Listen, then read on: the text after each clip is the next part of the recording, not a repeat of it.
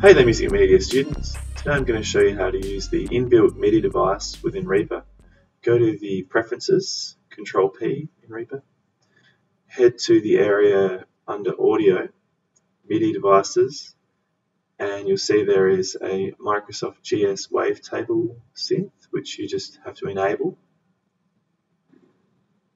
Then start a new track by double clicking or else go up to Insert, Track I normally just double click.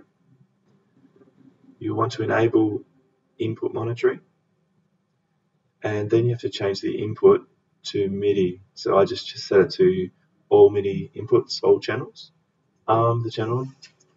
Then go to the routing and select a MIDI hardware output and select that Microsoft synth. Then I'm bringing up the virtual keyboard. view MIDI keyboard. It works. I'm going to the preferences now. Uh, one level above there, audio device.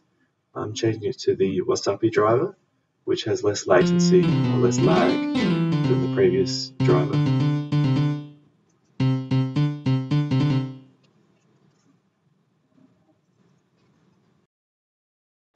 Next, we're going to add an effect we want a way to able to change between the different sounds available in the general MIDI set.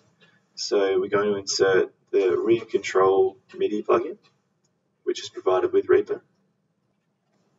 Next, we will enable the bank select area and load up the definition of general MIDI sounds, which should come with Reaper.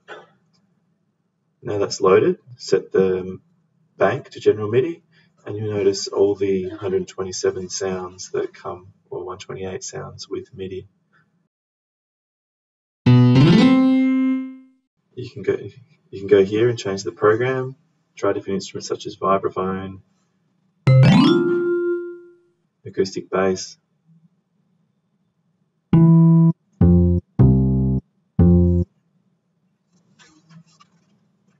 There is also a couple of other banks so give them all a try. and You might find you like some of these instruments, and it's kind of convenient not having to install a soft synth or not having to always use soft synth. These sounds can also be good placeholders, and later on you might decide to change them for a more sophisticated sound.